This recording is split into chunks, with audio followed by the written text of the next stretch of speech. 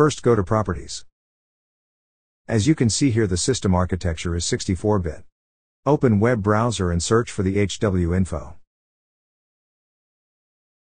Now click on the first link which is hwinfo.com. Here we are downloading portable version of HWinfo. Now head over to the free download section. Here click on any mirror link, like this. Find and click on HWinfo portable. Now the download is started. Once the download's finished, navigate to the download folder, and extract the HWinfo file. Now open the HWinfo folder, here you've get two files, here open the file according to your system, as we checked at the starting of this video. Click on Start. Click on Close. Also close this window. Now find and click on Motherboard section, under the left side pane. If system support UEFI BIOS,